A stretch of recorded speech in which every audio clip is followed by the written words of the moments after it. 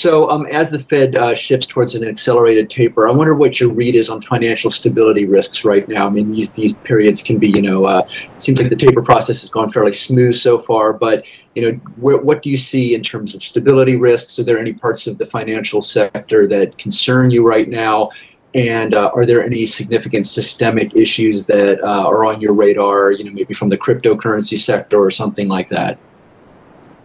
You know, we have we have uh, had now for uh, a decade and more a four-part financial stability framework that we use so we can we can hold ourselves to the same kind of uh, framework and and uh, you know not just treat each each event individually. And and there there are four key areas: asset valuations, debt owed by households and businesses, funding risk, and leverage among financial institutions. So I would say Asset valuations, I'm going to go really superficially here, but asset valuations are, are somewhat elevated, I would say.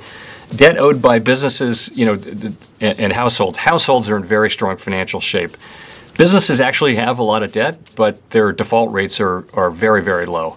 Uh, but nonetheless, it's something we're watching. Funding risk is, uh, it, by and large, low uh, among uh, among financial institutions, but uh, but we do see uh, money market funds as a vulnerability, and and uh, uh, you know would applaud the the SEC's action this week.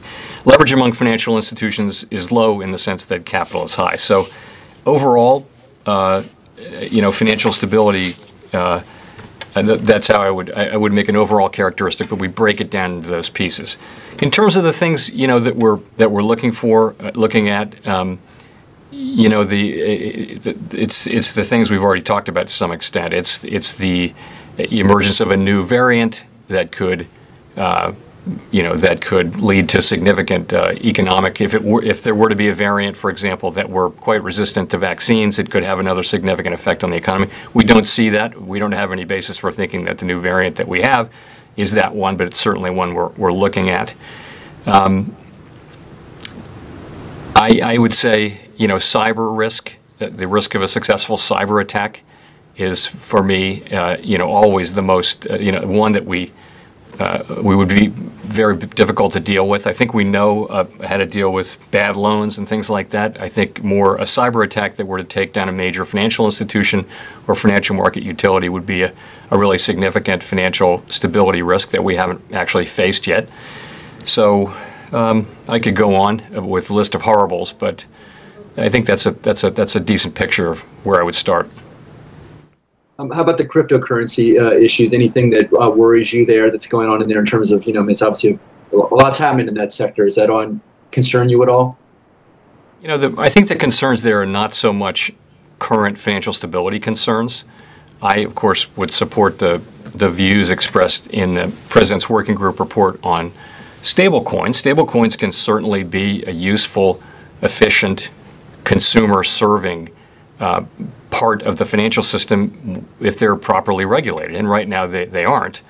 And, and, and they have the potential to scale, particularly if they were to be uh, you know, associated with one of the uh, very large tech networks that exist. And, and you, you could have a, a payment network that was immediately systemically important, close to immediately systemically important, that didn't have appropriate regulation and protections. The public relies on uh, on the government and, and the Fed in particular to make sure that the payment system is safe and reliable, as well as the, the dollar, and you know the, to provide a safe and reliable, trusted currency. So, but I do think those are longer term. In terms of um, you know the more uh, the cryptocurrencies, uh, you know that are really uh, speculative assets. Uh, I don't see them as a financial stability concern uh, um, at the moment.